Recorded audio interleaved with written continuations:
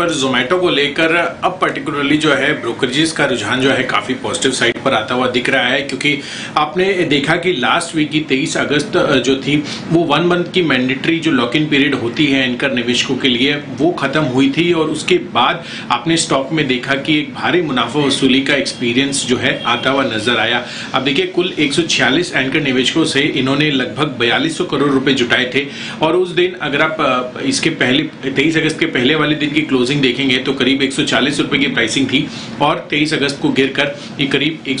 रुपए के भाव पर आया था। तो काफ़ी डीप कट उस टाइम पे आते हुए नज़र आए थे, पर उसके बाद स्टॉक जो है फिर से रिकवर होता हुआ दिखा और अभी आप देखें तो पाँच परसेंट की दमदार तेज़ी है, क्योंकि अभी स्पेसिफिकली अगर आप देखें तो काफ़ी सारे ब्रोकरेज हाउसेज जो है पॉजिटिव होते हुए नज़र आ रहे हैं, जिसमें सबसे पहला है गोल्डमैन सैक्स जहाँ पर इन्होंने इनिशिएटिंग कवरेज अपनी रखी है एक रुपए के लक्ष्य के साथ और यहाँ पर खरीदारी की राय दे रहे हैं। साथ ही आपने देखा कि कुछ दिन पहले आईसीसी सिक्योरिटीज ने भी अपनी इनिशिएटिंग कवरेज इन्होंने शुरू की थी और यहाँ पर तो और भी ज़्यादा कन्विक्शन था और दो